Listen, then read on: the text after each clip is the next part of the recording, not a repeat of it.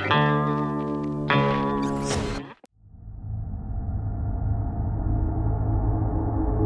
is a global positioning chip. It communicates with satellites in space to locate its position here on Earth. In your smartphones, this is what tells you where you are, maybe where you're going, or if you're like me, where to find a good cup of coffee. But this same technology, when coupled with a battery and hung around the neck of a large mammal like this mule deer, is revolutionizing how we understand wildlife migrations. So as this deer goes bounding off with its new collar, that collar will locate it every hour for two to three years. I'm a wildlife researcher at the University of Wyoming and the U.S. Geological Survey. And when I started working in Wyoming, migration was not the focus of my research.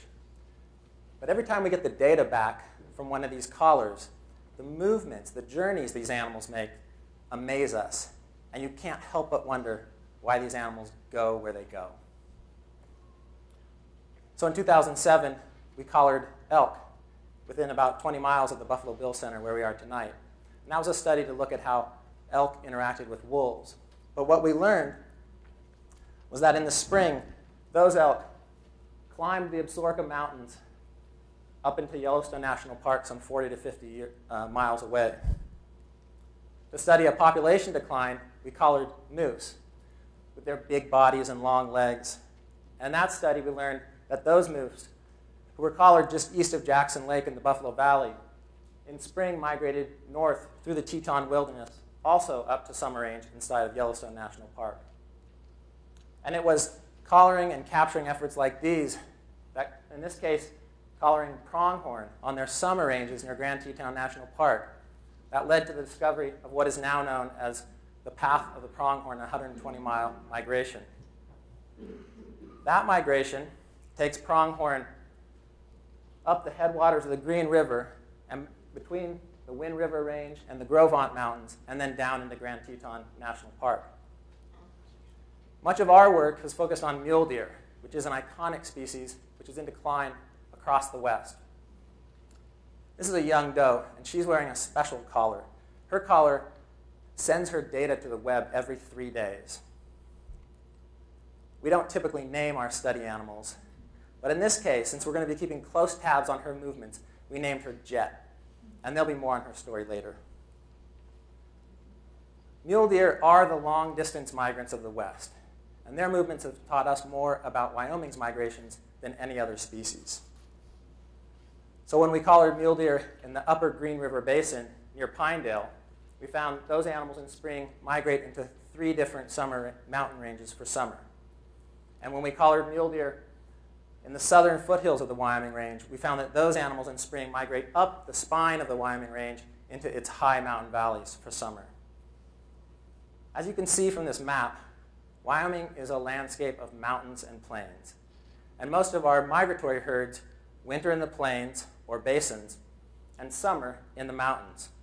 And this is just a sampling of the migration routes that have been documented in Wyoming. So why do these animals migrate? Well, large mammals in the Rockies with, its, with our harsh seasonal environment are faced with a problem. The mountains provide abundant for forage in the spring and summer, but they're lousy year-round habitat. And that's because these animals can't withstand the chest-deep snow that accumulates there in the winter. The plains or basins are much more mild in the winter, but they too are lousy year-round habitat. And that's because they're dry and unproductive, and they provide very little food in the spring and summer. Migration then is a solution to this problem. It allows animals to exploit the abundant forage in the mountains in spring and summer, and then enjoy the milder conditions in the plains in winter. But now that we have this GPS technology, we can look at the entire migration route. And what we're learning is that the migration route is not just a connector between winter range and summer range. And the timing of how animals move along that route is critically important. And that's because of how plants grow. When plants are young and just emerging, they're low in fiber. Now, unlike us large mammals aren't dieting. So they need diets that are low in fiber to allow them to put on fat during spring and summer. And that's the energy stores that will get them through the lean winters. And so they do this by seeking out plants that are young when they're just greening up. So I want to show you an animation of how mule deer track the spring green up. To orient you, this is the Wyoming Range running north-south, the winds to the east, and the Green River Basin in the middle. What you're going to see are the spring migrations of six mule deer, three that winter to the southern uh, foothills of the Wyoming Range, and three that winters to the east. And then the background is greenness, as seen from space, and it too will change as these animals migrate. So, when, so the migration starts when the Green River Basin is just starting to green up. Those big dots are each day's specific locations.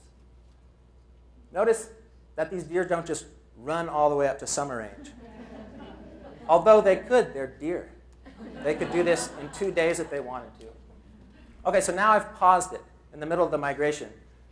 Spring ha has come, and it's just starting to creep up the mountains. And notice that the deer are stopped over right at the leading edge of spring where they can access that fresh green growth, where they can get the best nutrition. We found that they stop over for days, even weeks at a time during their migrations. And then eventually follow spring up to their high mountain summer ranges. So this research has shown us that in a two to three month migration, these animals are stopped over feeding 95% of the time.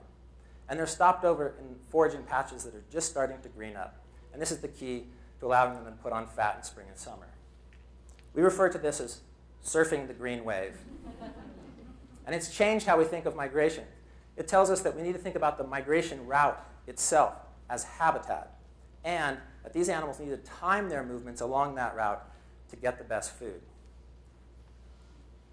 So, migration is the solution to living on a landscape of mountains and plains, and it's been learned over generations. In fact, archaeological data suggests that many of these migrations have been around for thousands of years. So think about that. These animals are using migration routes that they've been using since before Wyoming was settled. So here's a different map. This is the map of the trapper Osborne Russell, who moved around northwest Wyoming in the 1830s. As he moved through this landscape in 1837, he would have, he would have been trapping beaver and killing bison for meat. And he would have encountered some of these same migrations of mule deer pronghorn, moose, and elk that our research, has rediscovered over 170 years later. Of Jackson's Hole, Russell said, This valley, like all this country, abounds with game. And we now know that the ability to migrate was key to that abundance, and it's key to the abundance we have today. But as our group has mapped out these migrations and started to place them on today's landscape, you quickly see that some of these migration routes are changing. So for example, our sagebrush basins are being altered by energy development.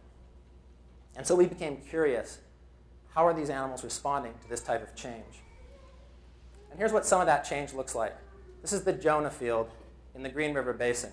It's one of the most productive natural gas fields in the lower 48. This is what it looked like in 1990. And this is what it looked like in 2002, 12 years later. So each of those squares is a well pad. And we know that development like this can fragment land, landscapes, but it also brings vehicles, traffic, and human activity. I became interested in this in looking at the path of one animal, a pronghorn antelope. So this animal winters in the south of the Green River Basin and then migrates north through open sagebrush country. And what caught my eye is this pronounced jog in the middle of an otherwise straight route. From this view, that jog is a bit of a mystery. But when you zoom in, you see that that animal bumps into the Jonah, the Jonah field and then detours around it before resuming its path to its summer range. So this one animal made me wonder how often are our migrating big game running into development and disturbance and having to alter the way they move through their migrations.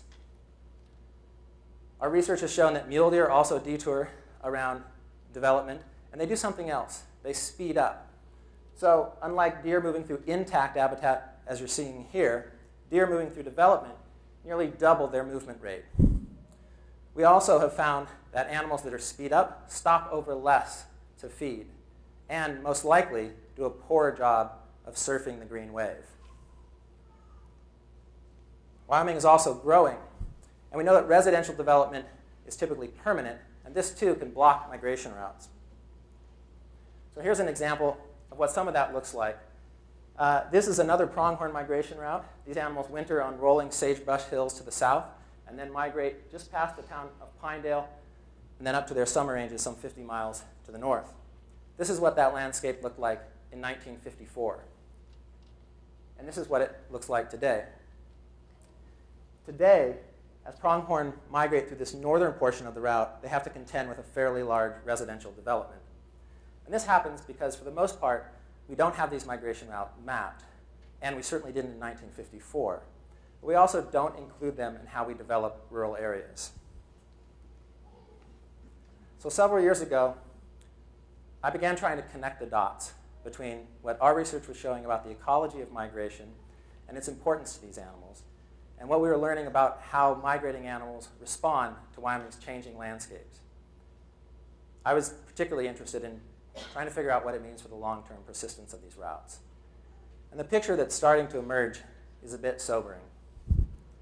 So we now know, when faced with this type of development, these animals will speed up, detour, and feed, over, feed less on the fresh green grass. In time, in the long run, that will lead to the loss of the foraging benefit of migration, and then the loss of the individuals who have memory of those routes, and ultimately to the loss of the migration routes themselves. So I'm using our research, research to infer what might be a likely outcome for Wyoming and the West over the long run. But in fact, this has already happened all over the world. Scores of migration routes from wildebeest in Namibia to gazelle on the Mongolian grasslands to bighorn sheep or elk here in the Mountain West have already been lost. And how would we know if a migration route was lost? Well, here's that same pronghorn that detoured around the Jonah field. These data were taken a decade ago. And since then, the Jonah field has continued to expand and intensify. I can't tell you today if this migration is still occurring.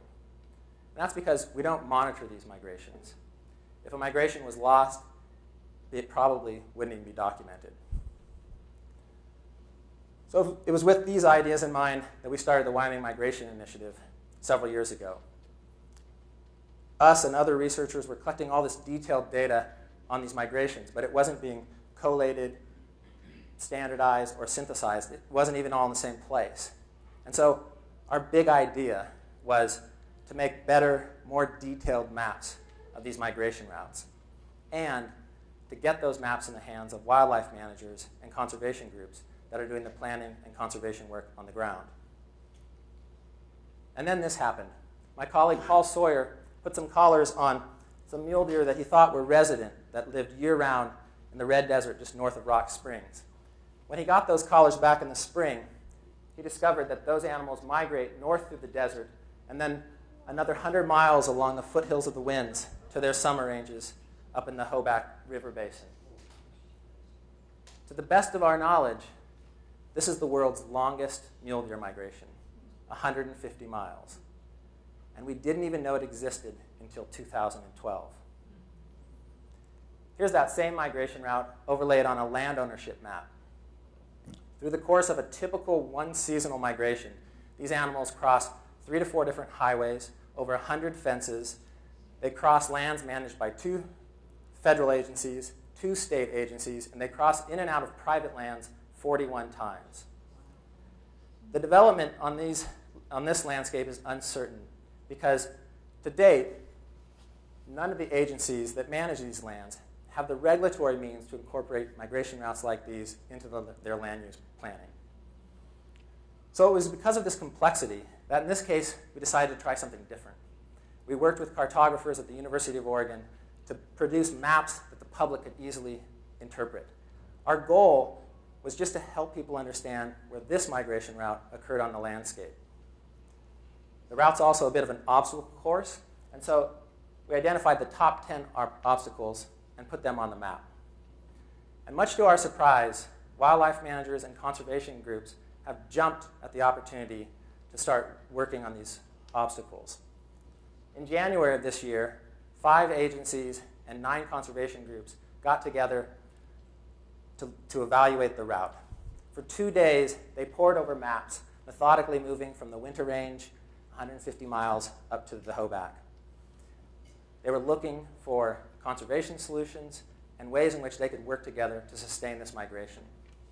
So this has been really exciting for us to watch. These groups are putting this migration route on the map, actually on many different maps, and into the planning process. So I want to return to Jet. Jet is one of those red desert to Hoback migrations. Here she is uh, being, re being released onto her desert winter range about a month ago. Before this talk, I checked in on Jet. I downloaded her most recent satellite transmissions, and I put them on this map. Can you see them? You might not be able to because she's still in the red desert. She hasn't migrated yet, although many of, of her herd have. But she will migrate, maybe in another week or two. And when she does, this is the route she will take. It's the route she took last year. It's the only route she knows. It's the route she'll use for the rest of her life. At Capture, we learned that she's carrying twins. When she gets up to summer range, she'll give birth to those twins. And if those fawns survive the summer and the fall and migrate with her back to the Red Desert, they too will continue this 150 mile tradition. It's my hope that Jet and her descendants can continue this journey for a very long time. And for us, getting migration routes like these on the map has been a first step in facilitating their conservation. Thank you very much.